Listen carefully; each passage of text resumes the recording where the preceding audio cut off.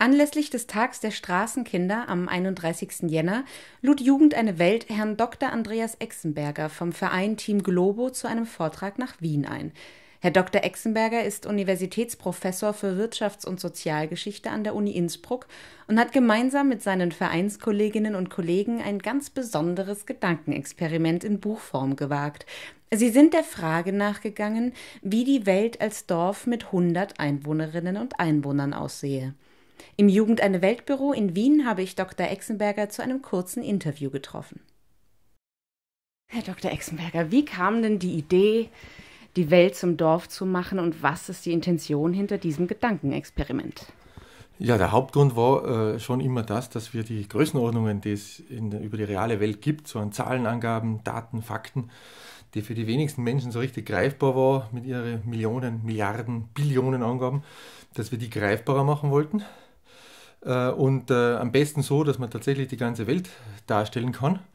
Und wir wurden dann nochmal äh, bestärkt darin, das zu tun, weil es eine Zeit gab, wo sehr viele so kleine Informationen kursiert sind.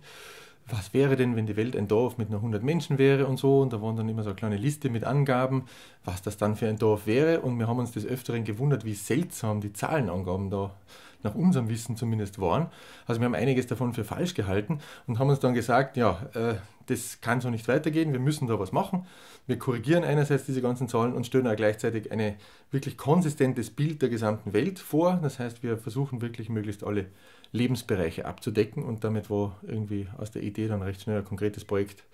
Die Idee hat man ja eigentlich zehn Jahre vorher schon mit sich rumgetragen und der Kollege Nussbaum hat vor allem sehr viele Daten schon gesammelt gehabt mit dem Hintergedanken, das vielleicht mal für sowas zu verwerten. Aber es braucht dann immer den Auslöser und den hatten wir dann. Sie haben es jetzt gerade angesprochen, vor zehn Jahren erschien ein Buch, Unser kleines Dorf. Und jetzt, ungefähr zehn Jahre später, ziemlich genau zehn Jahre später, erscheint das nächste. Was hat sich denn in zehn Jahren getan? Ja, vor allem hatten sich die äh, nachhaltigen Entwicklungsziele der Vereinten Nationen getan, die jetzt für das neue Buch ein ganz, zentrale, äh, ein ganz zentrales Organisationsprinzip sind. Also wir erzählen im neuen Buch die Realität in Globo im Zeitalter nachhaltiger Entwicklungsziele, die es seit 2015 ja gibt und deswegen nehmen wir jetzt auch 2015 als Referenzjahr. Ansonsten äh, ist die Bevölkerung gewachsen zum Beispiel. Äh, es ist vor allem aber auch der materielle Wohlstand gewachsen. Das Durchschnittseinkommen hat also deutlich zugenommen zum Beispiel.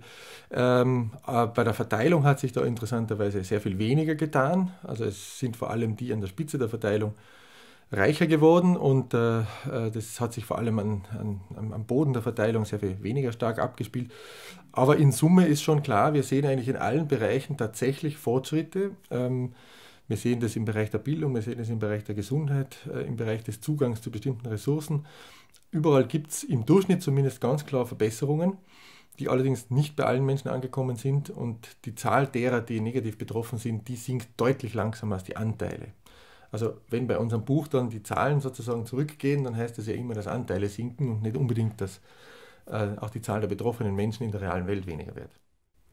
Hat sich auch in Sachen Klimaschutz und Umwelt was verbessert oder ist das so ein Punkt, der sich als einziger verschlechtert hat? Naja, man muss diese Grundierung immer mitdenken. Also äh, klar ist, dass dieses ganze Entwicklungsmodell auf Kosten des Planeten gegangen ist in der Vergangenheit und auch immer noch geht und dass das die große Baustelle ist, die man angehen muss, äh, weil alle positiven Entwicklungen, die vielleicht da sein mögen, immer davon abhängen, dass äh, die Umwelt einigermaßen intakt bleibt, was sie aber mittelfristig nicht mehr wird. Äh, und wenn sie das dann gegenseitig negativ beeinflusst, dann hat man ein immer größer werdendes Problem, das man lokal ja durchaus auch schon sehr deutlich in negativen Auswirkungen sieht. Also nein, da ist leider klar, dass zwar ähm, man da einen Unterschied machen muss, dass in den entwickelteren Ländern es durchaus ähm, positive Entwicklungen in Richtung zumindest mehr Energieeffizienz gibt und ein bisschen ressourcenschonendere Produktion, aber äh, dafür es Aufholprozesse gibt, die auch vollkommen legitim sind, weil es einfach nicht angeht, dass man Menschen sagt, ja, ihr dürft euch jetzt nicht entwickeln auf die Weise, die für euch möglich ist, weil das könnte das Klima zerstören, ja, während wir uns längst entwickelt haben. Also ähm, es gibt verschiedene negative Tendenzen, die sie auch noch weiter verstärken und wo halt klar ist, man muss eigentlich an allen Ecken und Enden ansetzen und immer sehr stark auf die Leistungsfähigkeit der jeweiligen Gesellschaften auch achten, dass die, die mehr leisten können, auch mehr leisten müssen zur Bewältigung dieses Problems. äh, und nicht nur die, die unmittelbar mit dem Problem konfrontiert sind. Mhm. Jugend eine Welt setzt sich ja besonders oder äh, insbesondere für benachteiligte äh, junge Menschen ein, für Kinder und Jugendliche. Wie viele Kinder und Jugendliche gibt es denn in Globo und wie geht es denen? Was ist denn da die Altersgrenze? Ich würde sagen, äh, Kinder machen wir mal bis 15 und Erwachsene bis 18. Oder Jugendliche bis 18, ab 18 dann erwachsen. Ja, dann haben wir wahrscheinlich 26 Kinder und vier, die so irgendwie in diesem Zwischenalter drin sind, also 30 unter 18 und 26 unter, unter 15. So in der Größenordnung ist es. Äh, übrigens auch eine Sache, die gesunken ist im Vergleich. Also eine dieser Dinge, die, ich weiß nicht, ob man das positiv oder negativ sehen soll. Also die Bevölkerungsdynamik verlangsamt sich. Also das ist auch deutlich sichtbar bereits. Ähm, es gibt in Summe relativ gesehen weniger Kinder. Ja, aber 26 sind Kinder, 30 äh, sind Kinder und Jugendliche und die haben äh, eine sehr ähnlich unterschiedliche Welt vor sich wie die Erwachsenen. Äh, mit sehr, sehr unterschiedlichen Chancen, wo es welche gibt, die äh, von im Wesentlichen öffentlich finanzierten Schulsystemen bis zur Hochschulreife geführt werden und dann sich aussuchen können, was sie studieren wollen, bis zu solchen, die die Chance bekommen, in ein mit 100 Kindern gefülltes Klassenzimmer ohne irgendeine Ausstattung vier Jahre lang gehen zu können, in der Hoffnung, dass irgendwann auch einmal eine Lehrperson auftaucht. Ähm, also das sind die Unterschiede in der Qualität der Bildung, die natürlich immer noch riesengroß sind.